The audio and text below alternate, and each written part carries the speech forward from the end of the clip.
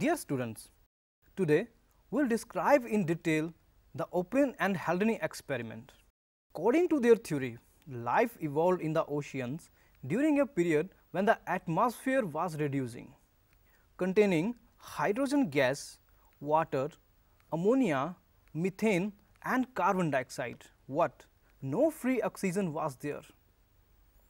In the early decades of the 20th century, Alexander Oparin in 1924 and John Haldane in 1929 before Oparin's first book was translated into English, independently suggested that if the primitive atmosphere was reducing means as opposed to oxygen rich atmosphere and there was an appropriate supply of energy such as lightning or ultraviolet light, then a wide range of organic compounds might be synthesized.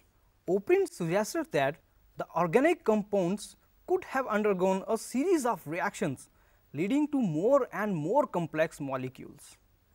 He proposed that the molecules formed colloid aggregates or coacervates in an aqueous environment. The coacervates were able to absorb and assimilate organic compounds from the environment in a way reminiscent of metabolism. They would have taken part in evolutionary processes, eventually leading to the first life forms. Haldane's idea about the origin of life were very similar to Oparin's. Haldane proposed that the primordia sea served as a vast chemical laboratory powered by solar energy. The atmosphere was oxygen free and the combination of carbon dioxide, ammonia and ultraviolet radiation gave rise to a host of organic compounds. The sea became a hot dilute soup containing large populations of organic monomers and polymers. Haldane envisaged that groups of monomers and polymers acquired lipid membranes and that further developments and eventually led to the first living cells. Haldane coined the term prebiotic soup and this became a powerful symbol of Oparin Haldane view of the origin of life. Now, we will discuss another experiment that shower light on the prebiotic environment to the journey of evolution. This is the Urey and Miller experiment. In 1952, Harold Urey tried to calculate the chemical constituents of the atmosphere of the early earth. He based his calculations on the widely held view that the early atmosphere was reducing one and concluded that the main constituents were methane, ammonia, hydrogen gas and water. He suggested that his student Stanley Miller should do an experiment attempting to synthesize organic compounds in such an atmosphere.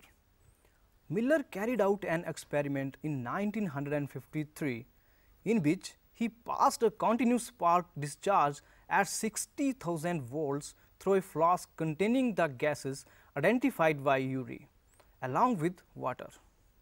Miller found that after a week most of the ammonia and much of the methane had been consumed. The main gases products were carbon monoxide and nitrogen. In addition, there was an accumulation of dark material in the water. Few of the specific constituents of this could not be identified. What? It was clear that the material included a large range of organic polymers. Analysis of the aqueous solution showed that the following had also been synthesized. 25 amino acids that is the main ones being glycine, alanine and aspartic acid. Several fatty acids, hydroxy acids and amide products. The Urey-Miller experiment was immediately recognized as an important breakthrough in the study of the origin of life. It was received as confirmation that several of the key molecules of life could have been synthesized on the primitive earth in the kind of conditions envisaged by Oparin and Haldane.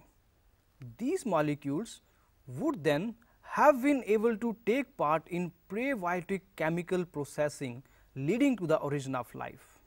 Since the Urey-Miller experiment, a great deal of effort has been spent investigating prebiotic chemistry. It has become apparent that organizing simple molecule into assemblies capable of reproducing and evolving is a far greater task than was generally realized during the excitement that followed the experiment. In addition, the view that the early atmosphere was highly reducing one was challenged towards the end of the 20th century and is no longer the consensus view.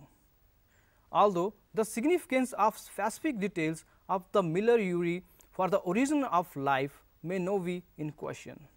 It began the new scientific discipline of prebiotic chemistry and has been enormously influential in the development of ideas about the origin of life. In similar experiments, others observed formation of sugars, nitrogen bases, pigments and fats.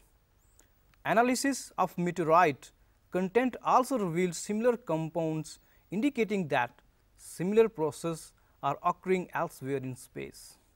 With this limited evidence, the first part of the conjecture story that is chemical evolution was more or less accepted. We have no idea about how the first self-replicating metabolic capsules of life arose. These capsules reproduce their molecules perhaps. The first cellular form of life did not possibly originate till about 2000 million years ago. These were probably single cells. All life forms were in water environment only. This version of abiogenesis that is the first form of life arose slowly through evolutionary process from non-living molecule is accepted by majority. However, once formed, how the full cellular form of life could have evolved into the complex biodiversity of today is the fascinating story that will be discussed in coming episodes. So, my dear students, today we have discussed in detail the Oparin and Haldane experiments that told that the life evolved in the oceans during a period when the temperature was reducing. The similar experiment was also carried out by Urey and Miller, which shows that the atmosphere during the origin of life was also reducing one the molecule formed colloid aggregates are coacervates in an aqueous environment. The coacervates were able to absorb and assimilate organic compounds. In the next episode, we will discuss about the evolution of human beings in detail that is how do we have evolved from the different time periods. Thank you.